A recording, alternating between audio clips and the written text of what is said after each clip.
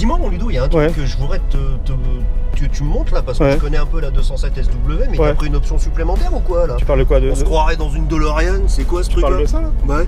Tu connais pas Bah ça ressemble à un correcteur temporel. L'option Peugeot ou quoi Non, non, c'est pas une option Peugeot, c'est moi qui, ai- qui me suis fabriqué ça parce que j'avais envie de voyager dans le temps si tu veux. Ah bon Tu sais ce que je voudrais que tu me fasses là Tout de suite. Non, mais tu Maintenant. Vas, tu vas me le dire. Dans les débuts, allez, 94, 95, ils avaient sorti une voiture, mais hyper rare chez Renault évidemment. Ouais. C'était la Safran Biturbo. La Safran Biturbo Et mon rêve, ça serait Tu- un jour Ah ouais dans- que tu m'emmènes voir une Safran Biturbo. Belle Safran Biturbo de 1995 Ouais, je sais, je t'en Dans ces années-là, dans, dans les années 90 quoi. Ouais, mais je t'en demande peut-être beaucoup. Bah non, écoute, non, mais je vais m'arrêter, je vais te montrer comment ça marche. Comment ça marche? Donc je te mets 10 octobre, tu vois, 10 octobre de l'année 1995. Bon. Après, on, peut mettre aussi euh, l'heure à laquelle on arrive, allez, vers 10h du matin. Tu vois Et comme c'est le matin, c'est AM ici. Tu vois Voilà. D'accord. Et ensuite, c'est très simple. euh, Faut que tu atteignes 88 miles à l'heure aussi? alors, c'est 70 km/h. D'accord. Donc là, je suis entré. Donc c'est cool en plus. Tu... Donc là, il a mis à jour ici, tu vois, euh, la date de là où on va. On va au 10 octobre 95 à 10h, D'accord. tu vois. Et là, aujourd'hui, on est le 6 octobre 2018, à 11h50. Et t'es pas obligé de programmer la bagnole que tu veux. Le convecteur temporel de passionné, il intègre automatiquement la voiture et son passionné, et son propriétaire. Il suffit juste que tu penses à la voiture que tu veux et t'y emmènes. Ouais, ouais, il t'emmène. C'est encore mieux que dans le film. Mais attends, c'est la version évoluée, on est en 2018, non? On est prêt pour le voyage alors? Bah, on est prêt pour le voyage. Regarde, je vais faire une ligne droite. Eh, rassure-moi, on va pas finir en glaçon. Non, Non. non, non, non, non, ça va aller, t'inquiète pas. Non, mais je l'ai testé, ça marche. Hein. C'est parti T'es prêt? Allez, C'est parti, on y va. Allez, 70. Ouais.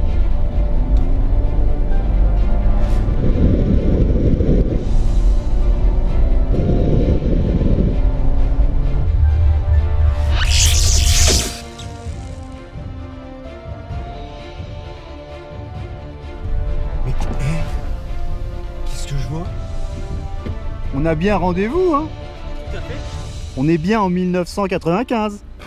Effectivement. Ah oui, tout à fait, oui. Ah oui. Bah écoute, euh, je, je vais garer la voiture, on arrive tout de suite, hein. Parfait. Merci.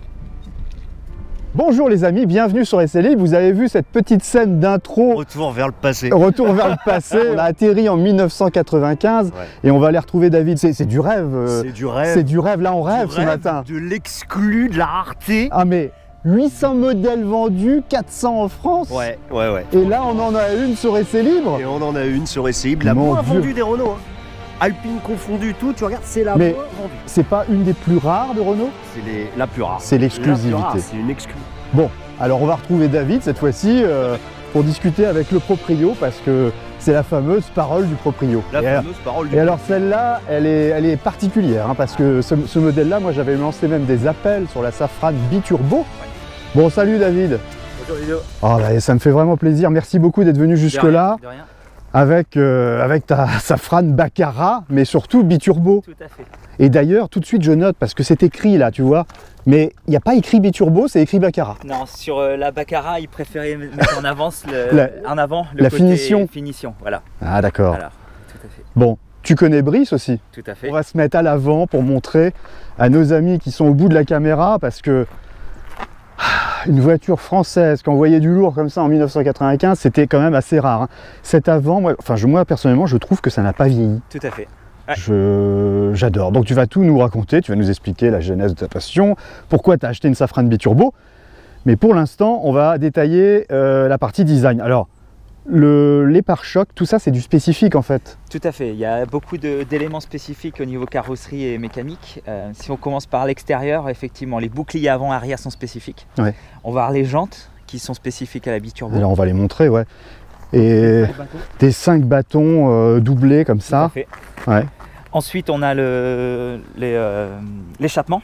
On a un échappement ovale qui est aussi caractéristique de la biturbo. Ça c'est une. pas factice. Non alors alors attends attends tu eh Brice tu sais qu'on vérifie quand même. hein. Moi je vais en dessous hein, toujours hein, je vais regarder en dessous. Euh, non, il n'est pas factice, effectivement, c'est une belle sortie. Et à retrouver, ça, si jamais tu as un problème avec ça, pour retrouver cette pièce. Il y a beaucoup de pièces qui sont compliquées à retrouver. Ah ouais, dont celle-là, du dont coup. celle-là. Alors je monte, mais euh, elle, elle est propre, hein, la voiture en dessous, hein, effectivement. Elle est 100% dans son jus d'origine. Elle n'a jamais connu de restauration. Ouais, ouais. Ah oui. Voilà, c'est le jus d'origine, donc 1995. Ça aussi, c'était spécifique Non, on le retrouve sur les versions Ah. euh, euh, voilà, V6, etc. Je suis le troisième propriétaire. Ouais, Et euh, le- la première était une dame. ouais. Une dame qui habitait Paris. Bah dis donc, ça fait plaisir, passe- madame. Tout à fait. C'est génial. Et qui passait tous ses week-ends à Bordeaux. Donc la voiture, c'était l'instrument idéal pour faire Paris-Bordeaux le week-end assez rapidement. Elle prenait pas le TGV, elle prenait la Safran Et biturbo. voilà. En fait, c'est- Ouais, c'est revenu au même, hein. quand tu regardes, elle a un petit peu l'histoire de la CX GT Turbo, quoi. Pour, Ouais. pour avaler les kilomètres quand tu pour faisais. avaler les kilomètres. Voilà, que pour faire, euh, Ouais, pour faire des longs trajets, bah voilà, et tu prenais la file de gauche. Et À l'époque, on n'avait pas de cabine radar tous les, tous les 100 mètres, donc euh, c'est vrai que c'était Et on avait pratique. des agents compréhensifs. La Biturbo a vraiment été produite de fin 93, début 94, 94 officiellement, jusqu'à 96. Voilà. Ouais. Donc ce qui fait qu'en fait la biturbo n'est sortie qu'en phase 1. Qu'en phase 1. Tout- Qu'en phase 1, il n'y a pas eu de biturbo phase 2. Non. Et, et du coup, les années de production, bah, ça a été court. Ça a été très court. Ça a été Parce très que- court. Ils ont pris le bouillon, nos Ils ont amis. pris le bouillon, tout à fait. Ils ont Ouais. eu un peu de mal. Alors, ils ont fait un choix qui était euh, d'avoir une voiture très puissante, parce qu'on est toujours sur le PRV, le Peugeot Renault Volvo, le V6. Le fameux, hein. Voilà, qui, date des années 70, hein, Ouais. euh, avant le choc pétrolier, qui Ouais. était à l'origine prévu un V8, qui a été amputé de deux cylindres pour euh, C'est ça l'histoire, C'est ça l'histoire. Ouais. Et donc il a une très longue carrière, on le retrouvera encore euh, bien au-delà en, en 24 soupapes sur les Safran, Et puis sur plein d'autres modèles. et plein d'autres modèles, hein, euh, DeLorean, etc. Dont la DeLorean, bien, bien- bien sûr. Et donc pour aller un peu plus loin justement en puissance, il était limité dans sa conception d'origine en atmosphérique, et euh, même malgré l'injection, et on le retrouve d'ailleurs sur la- les Peugeot en 24 soupapes aux alentours des 200 chevaux. Ouais. Et Renault, pour aller un peu plus loin et, et côtoyer les Allemandes, notamment Ils étaient les énervés. eh, V8. non, mais ils étaient énervés chez Renault, Ah, là. là, ils- Tu vois, ils, ils avaient envie de bouffer il y de la l'allemande. sport qui- euh, sport Ah ouais. qui était là, C'était devenu une obsession presque. Une obsession Tout par rapport à la. Je sais pas, ils gagnaient en Formule 1 dans, dans ces Oui, époques-là ah aussi. bah oui, oui, c'est oui, pour oui, ça. oui, ils- Mais vo- mais- constructeur, mais voilà, euh, Ça donc- avait commencé avec Nigel Mansell. Euh, ensuite, bon, il y a eu Prost déjà qui a fini sa carrière avec Renault, Ouais. qui est devenu champion du monde avec Renault. Après, ça a été euh, Hill, euh, il y a eu Mansell. Enfin, il y a eu une sacrée histoire. Il y a eu Enfin, Schumacher ouais, avec- avec le moteur euh, Renault. Voilà aussi, euh, avec Williams, euh, d'où d'ailleurs la, la clé La Williams. Williams, Enfin, exactement. voilà, c'est la, la- la période où Renault, six fois champion Et là. Renault, ils se sont dit, on n'a on pas trop les moyens, on n'a pas de moteur dans la banque, on- mais on va mettre le paquet. On va... Voilà. Donc, au lieu de développer, de faire du développement spécifique pour cette voiture, qui resterait de toute façon assez exclusive, hein, ça reste des, des- Ouais. des quantités faibles. En, Il le savait, il le ça, savait. forcément. Ouais.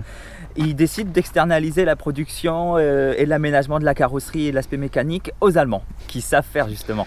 Ouais, alors, il y en avait deux, hein, de Deux, partenaires. tout à fait. Alors, ils avaient chacun leur spécificité. Au niveau de l'intérieur et euh, l'adaptation de la carrosserie, on avait Irmscher, Mhm. qui, euh, qui faisait déjà les intérieurs Baccarat pour les Baccarat traditionnels.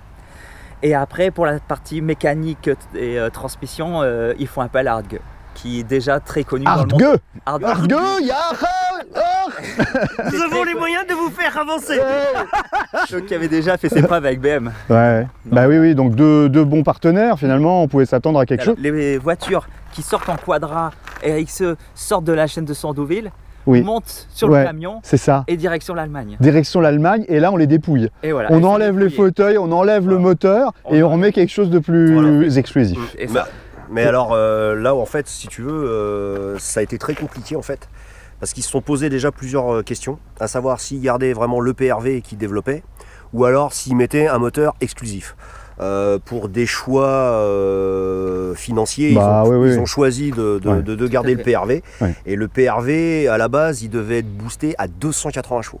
Ouais. Le projet, c'était 280. Bah D'ailleurs, je crois même que pendant le projet, les 280 chevaux sont sortis. Ils les avaient et ils Oui, ont oui. dégonflé un peu Ils parce que c'est la boîte de vitesse qui avait du mal. vitesse, ils l'ont renforcé tout ça. Et en fait, en fait, toutes, euh, toutes, toutes ces choses à fiabiliser ont fait que ça a mis deux ans. Et c'est pour ça que Ouais. la Safran. Biturbo sort que deux ans après. Ouais. Parce que Bah, ça a été long à mettre en ça a œuvre. été long à mettre en œuvre. Et puis quand tu mets un biturbo euh, dans un moteur, faut pas croire que tu lui mets deux turbos puis terminé. Euh, Bah, il faut, il faut regarder le reste aussi un Donc, peu, hein, le résultat- freinage. Résultat des courses, et bah il y a énormément de modifications qui sont faites et puis bah le prix, résultat, euh, boum. Et, que- et comme tu dis, Ouais. ils cherchaient aussi la fiabilité parce que les Allemands, ils l'avaient. Mm. Donc pour rester sur le créneau des Allemands, bah, la so- so- solution, c'était faire des essais et développer développer, développer. Ouais, ils voulaient pas se planter en Ils voulaient fait. pas se planter. Ils voulaient pas se planter, ils n'avaient pas envie de se planter. Donc c'est pour ça aussi que ça a été très très long. Alors est-ce que ça c'est des laves-phares Oui, fait. c'est des laves-phares. Moi Ouais. j'adore, j'adore ça. Aujourd'hui on le voit beaucoup moins, oui c'est plus discret. C'est plus discret. Et puis à l'époque, le summum du summum, tu avais les essuie-glaces aussi. Ouais. hein. Tu, te souviens de ça, l'air 18 turbo, il y avait- Il y avait les petits essuie-glaces. Moi, je trouve ça encore d'une classe folle, mais bon, on ne voit plus ça aujourd'hui. Bah. Il y avait très peu de couleurs disponibles du coup, parce que Oui. c'était des couleurs un peu classieuses. C'est ça. Donc on avait la de mémoire. Hein, Ouais. de mémoire. euh, On avait donc la bleue crépuscule, on avait le gris, euh, on avait le noir Ouais. et euh, la rouge, la rouge prusse, tout à fait. Ah, il y avait une rouge aussi Très jolie. et Ça une va. seule commande spécifique en dehors de ces couleurs, Ouais. une blanc glacier, qui était pour un Strasbourgeois de mémoire. Ah ouais, c'est lui qui avait fait qui avait demander une ça. commande spécifique et euh, qui avait Oh. rajouté une somme. Alors, ah bah oui, parce que ça, ça devait lui donner un style en blanc. Ouais, tout à fait. Ouais. Ah, ça doit être assez On fou. l'imagine avec les vitres noires en plus. Et il y en a une, il y en a une euh, qui est exceptionnelle. C'est un modèle Eliez qu'on appelle long cours, c'est ça? Tout à fait, c'est ça. Long cours, et il y en a eu qu'une de produite et elle a été vendue quand Eliez a été démantelé. C'est ça. Je mettrai une petite photo hein, de, de- de Ouais. cette, de cette voiture, mais ça c'est exceptionnel parce que c'est une Safran biturbo break, Tout à fait. modèle unique. Alors on va lancer un appel, Brice. Ah, Ah, On lance un appel. Peut-être que cette personne, parce qu'il y a un propriétaire aujourd'hui de cette, euh, de cette liaise, peut-être qu'elle nous regardera, peut-être que sur YouTube ça tournera, tu sais, les algorithmes, tout ça. Eh bien, je lance l'appel. Venez nous rencontrer sur Essai Libre avec. Brice. Qu'on fasse une parole de proprio parce que ça serait exceptionnel Ah, aussi d'avoir le, le break et énormissime. qu'elle avait une gueule folle. Tu regardes en 2018, euh, elle est- c'est une voiture qui serait vraiment encore dans le coup. Quoi. Mais- Cette arrière, euh, on se demande d'ailleurs comment ils avaient fait pour travailler cette glace, tellement que c'est arrondi qu'ils font comme ça. c'est- Elle est magnifique. Elle est magnifique. Mais alors celle-là, moi, c'est pareil. hein, je suis désolé. Aujourd'hui, on est en 2018. Bah moi, je, je sais pas, mais moi, je trouve que ça n'a pas pris une ride. J'aime bien. J'aime bien.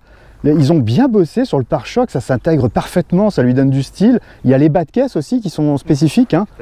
Euh, C'était des pièces euh, rajoutées, c'est un bas de caisse en plastique. Je montre tout de suite à nos amis qui sont là au bout de la caméra, qui sont impatients comme nous d'ailleurs, de voir l'intérieur. Regardez-moi cet état de conservation absolument exceptionnel. Un cuir gris. Moi j'adore le cuir gris. Oui. Ça, ça va tellement bien. Surtout que ça revient vraiment à la mode, le gris. Tu Mais vois, oui. les intérieurs de maison. Mais, dans les- mais oui, et puis dans les voitures euh, récentes, Ouais. ils, re- ils nous remettent ça. Ouais. Oh là là, je vois plein de choses, j'arrête parce que on va regarder tout à l'heure, il faut, on va se calmer. Euh, non mais je vois plein de boutons sur les fauteuils et tout, c'est bon, chaque chose en son temps. On va regarder, David, si tu veux bien, le coffre, Le coffre? parce que ça, c'est une voiture autoroutière voyageuse. C'est fait pour. C'est fait, euh, t'as- Oh, c'est fait pour les, les, les pères Oh. de famille pressés. j'ai un cri parce que je, je vois ça, Ah, je vois ça la là. fameuse valise. euh, alors ouais, c'est un pour les rangement pour les costards. Tout à fait. Est-ce que tu peux nous l'ouvrir? C'est un moment de grâce. Oh non mais c'est oh C'est même Arrête, mieux que ça. Oh Je vais être obligé de finir le tournage. Euh, oh la vache, attends, je vais. Tu peux l'enlever carrément ce truc? Oui, on peut l'enlever. euh, On apporte le costume jusque chez soi. euh, et tu le mets. Tu, tu peux nous ouvrir cette petite mallette, voir comment c'est foutu, s'il te plaît? Ah ouais. Et t'as tout, t'as un costume d'ailleurs. t'as- Oh, mais oui. Tu as l'attirail. On a des compartiments. euh, Voilà, pour Ah ranger c'est là où tu peux ranger tes affaires. Mais c'est génial. Et tout ça, c'est en cuir. Et tout ça, c'est en cuir. ouais. C'est superbe. Alors le coffre. Le, le coffre a été évidemment un peu réduit parce qu'on n'en a pas encore parlé, mais ça reste une, une oui. 4 roues motrices. La transmission intégrale. Tout à fait. Ça, ça, réduit effectivement. Il doit y avoir un tunnel central aussi Voilà, euh, Il y a le important. pont qui, euh, qui Ouais, forcément qui occupe. et donc ils ont été obligés de remonter le, remonter le, le, le coffre. Quoi. Et là, c'est la la de secours avec des rangements. Donc euh, la roue de secours, quand tu dévisses le truc, tu as accès, t'as accès en direct Voilà. en fait. Ouais, tout à fait. Mm. On a le compresseur, compresseur pour les suspensions pilotées. Ah oui, parce qu'elle est équipée de suspension Tout à pilotée, c'est ça Ouais. qu'il faut dire Ouais. aussi. Elle, a été, elle était vraiment euh, full option. quoi. Enfin, C'était avant-gardiste. c'était avant-gardiste. À. C'est des voitures qu'on retrouve aujourd'hui, amortissement piloté, 4 roues motrices, euh, plus de 270, enfin 260 Oui, chevaux. il, faut, il faut déjà être sur des véhicules assez haut de gamme pour encore retrouver ça. Ben, bien sûr. À. Ah ouais, non, mais ils avaient voulu mettre le paquet. hein. Donc la capacité du coffre, bah, il y, a pas- y a de quoi faire. hein. On n'est pas embêté. Ça va. Tu mets tes valises, sans problème.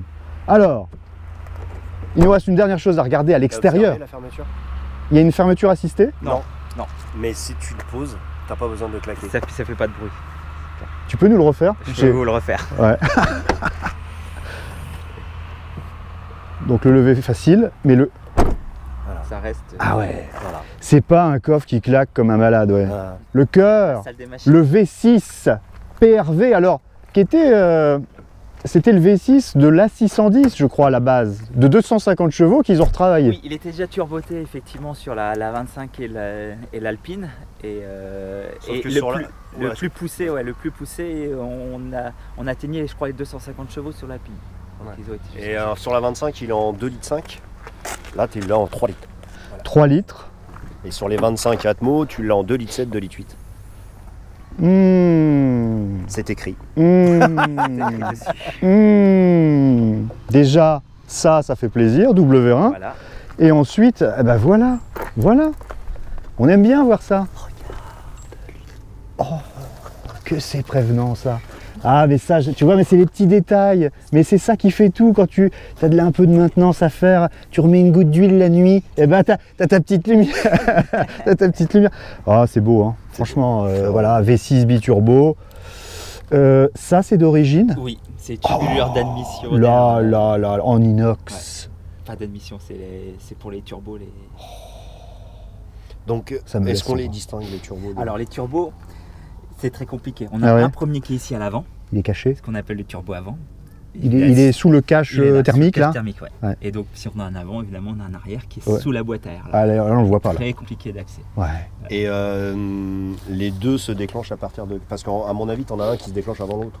Non, non, non, Non c'est vraiment. Il se c'est- déclenche en même temps Ils sont par rangée de, de cylindres. On a un turbo pour les trois d'un côté et un turbo pour les trois autres cylindres de l'autre côté. D'accord. Donc on a un non, on n'a pas un étalement de turbo. Après, il faut savoir que ça reste des turbos basse pression. Ils soufflent Ouais. à 0,55. Vous voyez C'est à cette époque-là, en 1995, c'était fini les coups de pied aux fesses. Voilà, on voulait plus de coups de pied au cul. On avait encore le coup de pied au cul sur la, la V6 turbo de la, de la R25 où euh, on avait un, un turbo qui soufflait quasiment à barre. Et, euh, et pour ce créneau-là, cette clientèle-là, l'effet coup de pied au cul, c'est pas ce qui était recherché, ou, ou même sur la 21, on le retrouvait, c'est pas ce qui était recherché, c'était au contraire quelque Le chose confort, quelque chose Ouais. de feutré, de linéaire, Fallait que de ce soit souple. confortable. la routière, fallait que ce soit confortable. le TGV Pullman. D'ailleurs, c'était avant-gardiste, comme tu disais tout à l'heure, des biturbos, on en voit beaucoup aujourd'hui, mais à l'époque, c'était super Ouais. rare quand même. Ouais, c'était Renault a été parmi les premiers. hein. Je crois que de mémoire, seule la Maserati avant est sortie en biturbo. Mmh. Et euh, c'est assez précurseur. Donc euh, pour la technique et les chiffres, on a 365 Nm à C'est ça. 2500 tours. Hein V6 90 degrés. C'est ça. Bon, là les 90 degrés, on a du mal à, la, On a à du mal à le distinguer, mais parce qu'il est bien rempli le compartiment. C'est un 12 soupape celui-là. Alors comment tu fais pour les révisions, euh, David Ah, C'est une bonne question. les révisions, je m'en occupe. C'est toi qui fais, t'es un Ouais. mécano Ouais, je touche un peu à, Ah. je touche un peu à la mécanique. C'est euh, bien, c'est bien. Donc euh, j'essaie le plus possible de faire moi-même. Ouais, Et parce que euh, je vais être méchant un peu avec nos amis de chez Renault, mais ils veulent plus. non, ils- c'est même pas qu'ils veulent plus, c'est qu'ils ont même plus les capacités. C'est-à-dire qu'ils ont, euh, alors peut-être dans les petits garages Renault, les, euh, Ouais. les agents, etc., Ouais. qui, euh, qui ont encore vraiment l'historique derrière. Mais euh, aujourd'hui, quand vous, tu te pointes avec une, une Safran biturbo Mais comme te- ça, ils ferment le- ils ferment les grilles. ouais, Ils ferment les grilles. et je me Il y a un souviens, taré qui arrive. Oh non, non, non vu, on Oh non, on l'a pas vu On ferme et je me souviens un peu d'une anecdote justement. Ouais. J'avais été dans un grand garage Renault Ah ouais? euh, pour faire justement la vidange, euh, la vidange du pont. Parce que à l'époque, j'habitais encore euh, en appart et euh, j'a- j'avais du mal à trouver une pas les fosse. moyens de... Voilà. Bah oui. J'avais du mal à trouver une fosse. Je me suis dit bon, allez, je fais, je fais la point boîte euh, pont euh, pour vraiment que tout soit niveau. Ouais, Et je me souviens au comptoir avoir demandé euh, sur ma safrane une vidange du pont. ouais. Et le monsieur m'avait regardé en disant mais monsieur, euh, On ça n'existe pas. Eh oui Bah Et chez coup- Renault, il n'y en a pas, oui. Voilà, et du coup, j'avais fait une demi-tour en disant bon, il vaut mieux que je m'en occupe moi-même parce que si c'est pour aller dans, dans un grand garage qui. T'étais pense- parti du coup et... Voilà, j'étais parti en disant Je bon, vais le faire. rien, je vais le faire. 225 45 R17, Ouais. même taille à l'avant à l'arrière. Et quand on a une 4 roues motrices, eh ben, il faut changer les 4 en même temps. Oui. Tu, tu le fais ça? Oui, tout à fait. Parce Ouais. qu'il ne faut pas qu'il y ait une différence d'usure entre ces- l'avant et l'arrière. Voilà, ça, ça dépend après de- du fonctionnement de des quatre roues, euh, de, la, de la façon dont elle est entraînée. Mhm. Et, euh, sur certaines, ça pose pas de problème, mais euh, la plupart du temps, sur ces berlines euh, à, intégrale, souvent il faut changer les quatre. Ouais, ouais. Alors une française avec plus de 260 chevaux, parce qu'elle fait 268 chevaux, pour être très précis et n'en oublier aucun. Comme on disait tout à l'heure, elle montait à 280. Ils se sont dit, oh là là, c'est trop 280. on va- Ah, c'est la boîte on va se calmer, c'est la boîte de La vitesse. et- boîte a dit non, moi je Donc ils l'ont dégonflé à 260 268. Ça veut dire que tu pourrais la débrider si tu as envie, David. Tout à fait, par l'électronique, parce qu'on a déjà une gestion électronique. C'est par là que ça passe, voilà, ouais. On peut sans problème. euh, Ouais. J'ai des cas de figure où euh, on, on fleure avec les 300, ouais. 300 chevaux. Des, T'as des, quand tu dis des cas de figure, c'est Bah, des gens qui ont fait ça Des gens qui ont fait ça, avec des passages au vent, des choses comme ça. Ah ouais. Ouais. Euh, La Safran, elle est apparue dans- entre 1992 et 2002, donc 10 ans de carrière, c'est long hein, aujourd'hui. Ouais, c'est un, cycle- beaucoup, un cycle long avec un restylage entre deux. Tout à fait. Et elle remplaçait la Renault 25, Renault 25. Renault 25 que, que tu possèdes aussi du coup. Oui, j'ai la chance d'avoir effectivement euh, deux modèles de chez Renault. Deux modèles collector. J'ai la, la Renault 25 euh, V6 Turbo euh, Baccarat Ah. de 91. Ouais. Je, je sais pas pourquoi, mais j'ai un pressentiment, Brice, que. Arrêtez, je vais mourir. non, mais j'ai un pressentiment qu'on reverra David dans une prochaine parole de Ah, proprio. c'est Ce Obligé. que j'ai envie de ressentir, c'est le coup de pied aux fesses de la 25 Turbo. Oui, Parce que là, apparemment, c'était violent. Enfin, c'était violent. c'était violent. Après, Un coup de pied aux fesses. on reste quand même sur des berlines. C'est vrai qu'on n'a pas parlé du poids de la, la voiture, mais Ah oui. euh, la 25 comme la Safran, ça reste des berlines Ouais. luxueuses. Et, dit- lourd. qui dit luxe dit poids, lourd. et donc c'est très lourd. donc effectivement, on n'a pas les coups de pied au cul qu'on avait. euh, ce ne serait que même sur une R5 Turbo. On Mm. l'a quand même, mais Mm. euh, il, est, il est plus nuancé. Quoi. D'accord. Ça, c'est. Ça, c'est pas mal. C'est le maintien. C'est le maintien de la porte, il est pas mal. Ah ouais. Et les... Attends, mais les matières. euh, Enfin. Ouais, bah ça avait rien à envier aux Allemandes, franchement. Le souci du détail. Regardez jusqu'où ça va. Ici, regardez-moi ça. Vous avez une petite lampe en dessous de l'eau-parleur. Quand on ouvre la porte, la planche de bord, mes amis. Parce que on a des maniaques du plastique moussé. Quand ça mousse, on aime. On aime. Et là, ça mousse. Et là, ça mousse. Ça mousse à souhait. Façon non, pas de boîte à gants. Ah, là. ah, La tiens, c'est- Voilà, Ah bah- alors c'est la chose que je voulais te montrer, c'est que tu vois, on est en 1995, Ludo. Et à l'époque, quand tu es en 1995, le double airbag, il Ouais. est super rare. Super rare. Principalement du. du, du Exactement. T'as as principalement C'était un les- airbag pour toi. Ouais. Et quand tu avais un double airbag, malheureusement, tu perdais la boîte à gants. On savait pas encore faire. ça. On savait pas encore faire les. Et bah, et bah les Brice, boîtes à gants. Brice, moi, tu sais, j'ai eu une 306 de 1996 que j'ai gardé 18 ans d'ailleurs, Ouais. et il y avait un double airbag, Ouais. et la boîte à gants était encore là, mais elle était divisée par deux. C'est ça. Voilà, il- ouais, t'as raison, ça prenait beaucoup de place, le module à l'intérieur prenait de la place. Donc là, ils ont condamné. Voilà, c'est Voilà, ça. là, voilà, des petites touches partout, hein, c'était l'époque des petits boutons, effectivement. On a un différentiel, hein, vu qu'on est en 4 roues pour, euh, en temps hivernaux, euh, sous neige, on va dire, euh, pouvoir bloquer le différentiel pour avancer. J'ai l'impression d'être assis très haut là. Je sais pas, est-ce que le On fauteuil. peut, on peut le descendre. On peut le descendre parce que j'ai l'impression d'être sur la montagne. euh, Alors là, tu as le réglage sur le côté. Alors, le côté, le Tu côté. as deux manettes. Oh, Oui. Attention, non. antivol électronique. Démarrage impossible. Oh non, elle te parle aussi Le manuel d'entretien. Mais Brice, c'est énorme, elle te Ouais, parle lui, il a de la chance parce que c'est C'est une femme Ah, il a une voix de femme Oui, parce que l'alarme, l'alarme, si on n'a pas redémarré le véhicule au bout de 10 minutes, elle, euh, elle s'enclenche. Ah, d'accord. Qu'est-ce que c'est que ça, là? Mais tout Pour est... cacher le Non, mais attends, mais c'est... Mais, mais c'est génial C'est le système de ventilation C'est ça, tout à fait. qui est caché là. Et là, tu peux mettre en automatique la clim. Voilà, clim super, auto. euh, ça. Écoutez, écoutez le clic. Tu vois Ouais. Non, mais ça a l'air de rien, ça. c'est Mais... rien. C'est pour, euh, il me semble que c'est pour éteindre la- la- les lumières des boutons, parce qu'évidemment, tous les boutons sont éclairés. Le démarrage de la biturbo. Alors, effectivement, le bruit moteur, Oui. c'est... un- tu- tu- voilà. Voilà, Voilà. un V6, Un- on un- voit que 6 cylindres. C'est un peu roule derrière quand même.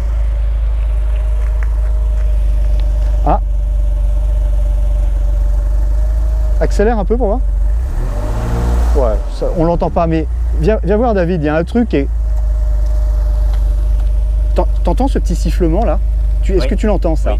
Ça, quand j'étais jeune, j'entendais ça sur les Mercedes 500 sec ou sel, tu vois, les grosses Mercedes, Ouais. il y avait le sifflement comme ça. Je sais pas d'où ça vient ça. Tu vois, j'adore ça moi. Ce petit bruit, tu, Exact. tu- tu l'entends? Exact, ouais. Bah, je me demande si c'est pas le bruit de la pompe à essence.